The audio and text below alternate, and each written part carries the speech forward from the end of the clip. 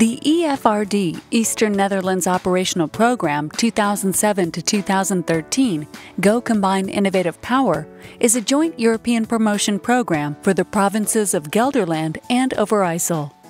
The project serves to enhance the innovative capacity and competitive position of the participating small and medium scale enterprises and the knowledge position of Wageningen University and the Canisius Wilhelmina Hospital. It stimulates the growth of the regional economy in the food and health sector, with a particular focus on preventative health. It has a strong potential to deliver cost savings for healthcare.